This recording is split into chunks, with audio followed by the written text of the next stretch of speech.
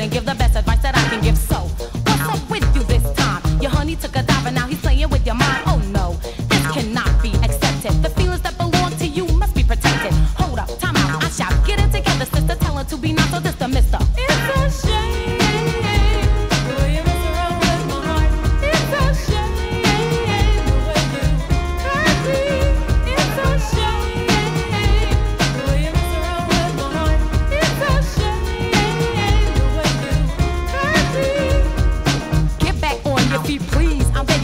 check out on your own knees. Don't let nobody see you in a state of grieving over the brother. There's another possibility, which is for you to work out where you went wrong. I guarantee to you that it will not take long for you to make your mind up if the two of you belong. You know where honey's headed and where he's coming from. Get it out your system. Don't be another victim. This took the nerve. Oh boy, he really picked him. What do you know? It's time for you to show you're not sleeping. A progress report on the two of you you're keeping. Thinking through the peephole to see if honey's sneaking. Decision. You called the brother in a terrible disposition. It's a shame.